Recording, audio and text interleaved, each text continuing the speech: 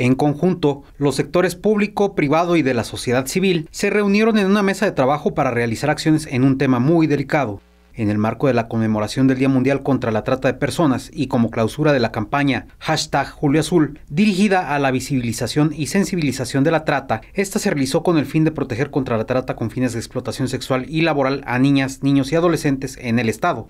Esta fue compuesta de forma interdisciplinaria. La presentación fue encabezada por el secretario general de Gobierno, Enrique Ibarra, así como por el secretario del Sistema de Asistencia Social, Alberto Esquer, la subsecretaria de Derechos Humanos, Fabiola Loya, y la secretaria ejecutiva del CIPINA, Thais Loera. En la presentación, Ibarra reconoció el trabajo que consideró muy importante realizado en materia de capacitación y sensibilización, así como la relevancia de incorporar a otros órdenes de gobierno y poderes del Estado para fortalecer estas acciones.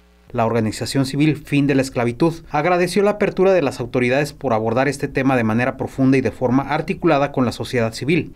Además se realizaron reuniones con prestadores de servicios turísticos, como hoteleros y agrupaciones de taxistas, quienes evidenciaron la necesidad de la capacitación para el abordaje y la denuncia de casos de explotación sexual infantil. Jaime Alberto Tinoco, Jalisco TV Noticias.